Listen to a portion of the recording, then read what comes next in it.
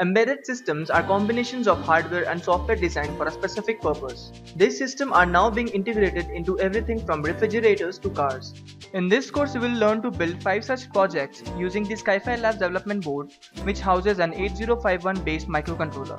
These projects are a home automation system in which you will learn to control home appliances with a smartphone using Bluetooth as the mode of communication. The system that you build will have the automation logic programmed on the microcontroller after which any appliance can be remotely switched on or off using an app on your phone. A smart lighting system in which lights are controlled using automated embedded systems. The system that you build will sense the number of occupants in a room using passive infrared sensors and switch on or off the lights in the room.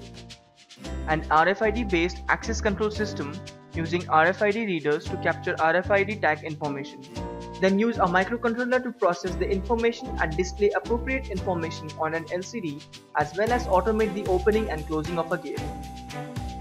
Railway gate automation where you will use IR sensors and a microcontroller to automate railway gate control. The IR sensor sends the direction of the approaching train and close the motor operated gates. Solar and smart energy system in which the flow of traffic is regulated automatically with the help of infrared sensors placed on either sides of the road. You will also learn to build a solar battery charging circuit which can be used to power your smart traffic control system. You can enroll for this course online to view a demo of the course or register offline at one of our venues.